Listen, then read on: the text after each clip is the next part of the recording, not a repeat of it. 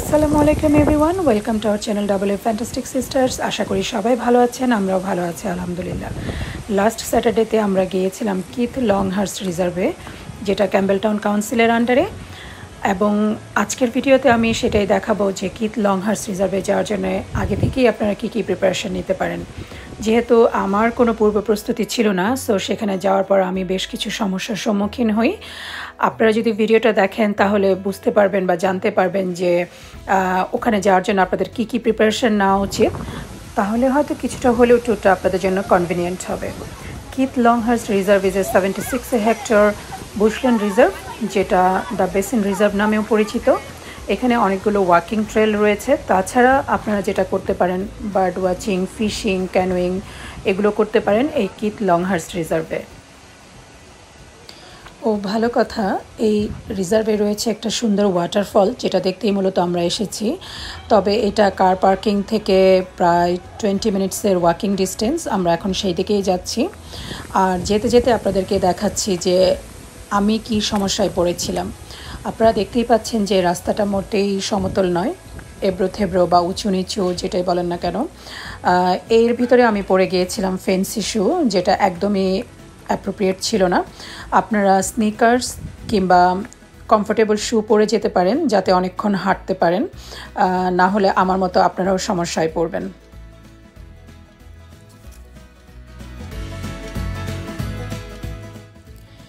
যেতে যেতে আমরা একটা বিগ লিজার দেখতে পাই, যে কিনা গাছের উপরে বসে আমাদেরকে ওয়েলকাম জানাচ্ছিল।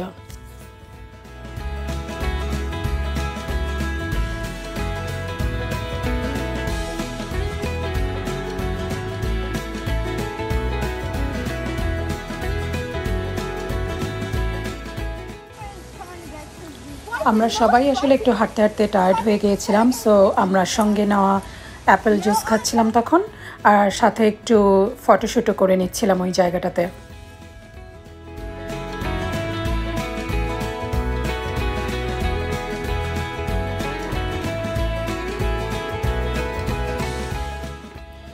আমরা কিছুক্ষণ রেস্ট নিয়ে আবারও রওনা দিই। এখনকার পথ আরও বেশি কঠিন মানে আরও বেশি উঁচু নিচু এবং চারদিকে ছিল শুধু স্টোন সো আপনি যদি কোনো কারণে পা পিছলে যান, তাহলে একদম স্টোনের উপরে পড়বেন। সো হাড়হুড্ডি ভাঙারও একটা সম্ভাবনা থাকে। বেটার হয় যদি কেউ হাইকিং স্টিক নিয়ে যেতে পারেন তাহলে আসলে এটা আপনাদেরকে যাওয়ার পথে একটু সাহায্য করবে। আর ভালো কথা, আমার আসলে একটা কথা বলা হয়নি, যারা হাইকিং করতে পছন্দ করেন, তারা ডেফিনেটলি কিথ লং হার্স রিজার্ভে যাবেন হাইকিং করতে। ডেফিনেটলি আপনারা মজা পাবেন।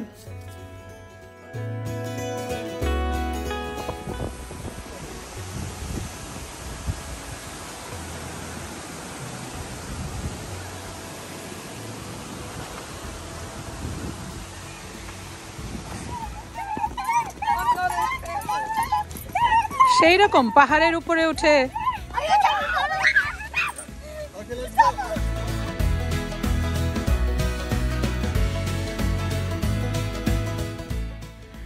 আমরা প্রায় পানির কাছাকাছি চলে এসেছি। এখন জাস্ট স্ট্রেট ওয়ে নিচের দিকে নামছি।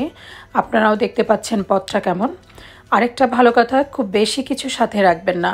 হয়তো একটা পানির বোতল বা একটু কিছু, অল্প একটু কিছু খাবার রাখলেন সাথে। কারণ নামার সময় নামাটা খুবই ইজি কিন্তু আপনি যখন উঠে আসবেন, তখন ওইটুকু জিনিসই অনেক বেশি ভারী মনে হবে। যারা অবশ্য ফিট মানে ফিজিক্যালি ফিট তাদের কথা আলাদা, কিন্তু যারা আমার মতো অত বেশি হাঁটাচলা করেন না, তখন তাদের আসলে উপরে উঠে আসাটা অনেক বেশি কঠিন হয়ে যায়। আপনারা দেখতেই পাচ্ছেন, নিচে পানি দেখা যাচ্ছে। যারা অনেকেই হয়তো তাদের বাবা মাকে নিয়ে যেতে চান, কিন্তু আমার কাছে মনে হয় আসলে তাদের জন্য এটা অনেক বেশি কষ্টকর, এটা আমার মতামত। বাকিটা অবশ্যই আপনারা চিন্তা করে দেখবেন।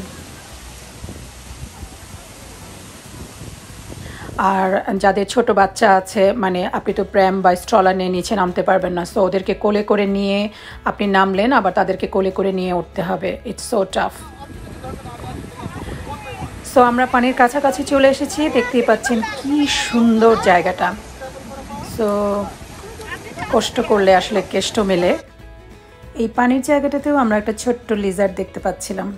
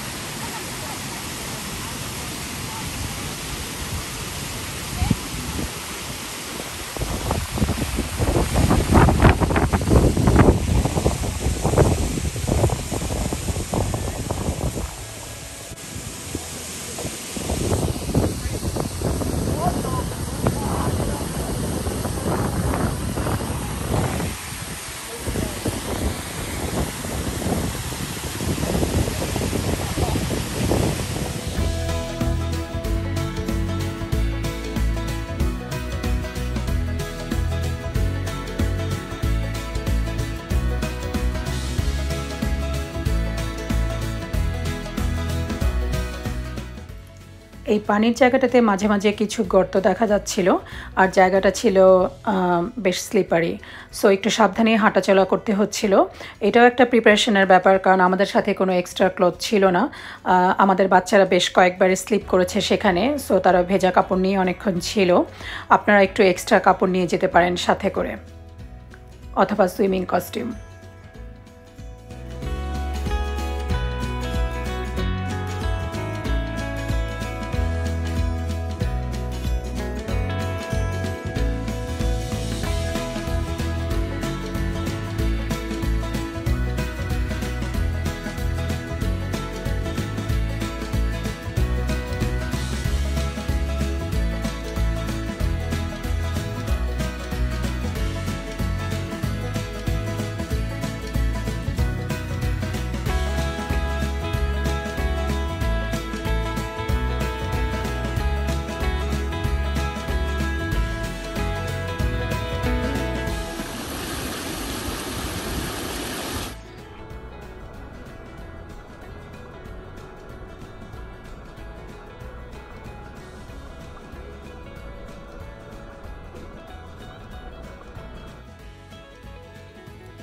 definitely it's a very beautiful place এই স্প্রিং টাইমে পানিতে পা ভিজিয়ে বসে থাকতে আমাদের খুব ভালো লাগছিল।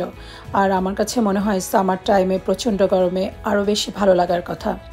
যদি আপনাদের সুযোগ হয়, চলে আসবেন একদিন এই কিথ লংহার্স রিজার্ভে একটা সুন্দর দিন কাটানোর জন্য। আর আপনারা যদি গুগলে সার্চ দেন, তাহলে সব ইনফরমেশন পেয়ে যাবেন। মানে কোন জায়গা, কোন ডিরেকশন আপনাদের যেতে হবে ম্যাপ সব কিছুই আপনারা গুগলে পেয়ে যাবেন। আমরা পানির কাছে বেশ কিছুক্ষণ সময় পার করে আস্তে আস্তে উপরের দিকে উঠে আসতে থাকি। এই সিঁড়িগুলো দিয়ে আপনারা দেখতে পাচ্ছেন সিঁড়িগুলো। এগুলো দিয়ে আমরা উপরে উঠে আসতে থাকি এবং উঠে আসার সময় আসলেই বেশ কষ্ট হচ্ছিল আমার। হয়তো বা আমি ফিজিক্যালি ফিট না সেই জন্য, কিন্তু যারা ফিজিক্যালি ফিট কিংবা যারা হাইকিং করতে পছন্দ করেন, তাদের কাছে হয়তো বা এটা কিছুই না। তবে কতগুলো জিনিস মনে রাখবেন, অবশ্যই কমফোর্টেবল শু হাইকিং স্টিক নিতে পারলে খুবই ভালো। অল্প জিনিস ক্যারি করা। আর কিছু এক্সট্রা কাপড় রাখার সাথে। আর বাচ্চাদের কথা, যাদের বাচ্চা আছে, তারা অবশ্যই মনে রাখবেন, প্রেম স্টলার নিয়ে আসলে নিচে যাওয়া বা উঠে আসা সম্ভব না। বয়স্ক বাবা মার কথাও মনে রাখবেন। আমাদের ভিডিওটা যদি ভালো লেগে থাকে লাইক শেয়ার কমেন্টস এবং সাবস্ক্রাইব করতে ভুলবেন না প্লিজ সবাই ভালো থাকবেন, সুস্থ থাকবেন এবং নিরাপদে থাকবেন। আল্লাহ হাফেজ।